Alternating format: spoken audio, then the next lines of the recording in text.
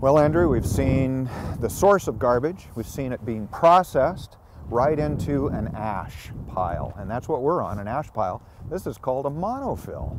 And we're going to learn a little bit more about this from Don, Ah. who's right here waiting for How us. you doing? Hi, Don. Yeah, nice to Good see to you. see you, Don. Thank to you. see you. So tell us a little bit more about what we're standing on here. What you're standing on is years and years of, of garbage that's been collected and then burned in Marion County. And it's been burned and incinerated at the waste energy facility. The residual is, is ash, just like what you would burn in your fireplace. Right now, it's a resource that's basically sitting here. We're looking at the potential of mining this and using it as an aggregate and also getting the, recovering the metals out of it. Brilliant. Yeah. So you start, I mean, obviously, you started way down this side, and there's grass on the top, so that's the completed. That's a final closure, what we call a final closure, and it's been capped with a uh, high density polyethylene, like a thick uh, plastic bag. It's got a drain net on top of that, and then 18 inches of cover soil where we grow, where we just grow a grass mound. So periodically, down the side here, you can see these pipey kind of mechanically things. Everywhere that you see that's not tarped, rain that hits the open ash cell percolates down through the ash, hits the bottom liner, it runs to these sumps, and then we have pumps down there that we pump what we call leachate, which is the, the water that's percolated down, leached down through.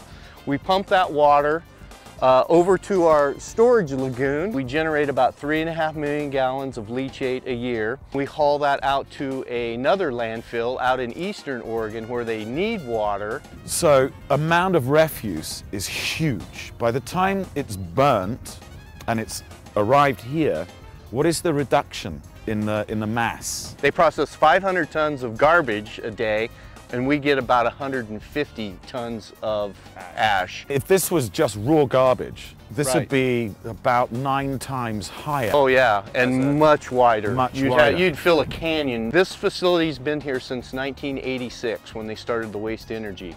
So you've got 12 years of garbage over there, and then this has been uh, operational since 1998. So we've got another 12 years here. Andrew, as promised, here we are at the lagoon.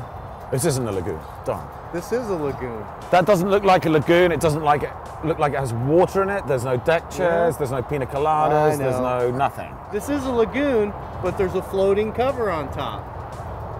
Oh, forgive me for not realizing that. Let's go down there. Okay. go down After, after you, you, got your, you got your sea legs on you? and after you as well. We're standing on a floating cover, Whoa. and this is an access hatch, and this is the leachate. Oh my oh That's the leeches in there. That's the salt water. If you swam in that, would you suffer any physical ailment? No, It's just salt water. I have to say, you know, it's been wonderful coming to see your lagoon, Well, I think I appreciate that. but I am bitterly, underlined bitterly disappointed that it's not fresh water and there are no pina coladas and there's no band playing. Walk on What's he doing? Oh my gosh, he's walking on water. Oh, I've got to try that. Moonwalk. The moonwalk. Who said you can't walk on water? That looks like too much fun. That was great. It's about all you can do on it, mind you, but Yeah. It was fun. Yeah. All right, Don, Okay, we did it. we did it. We've done a closed loop here. We've closed our loop. Yeah. Don, thank, Thank you you so very much. much. Thanks for coming. Thank you, Don. You bet. Great education. Yeah, thanks. Great. Um, let us know when you open up the summer, right?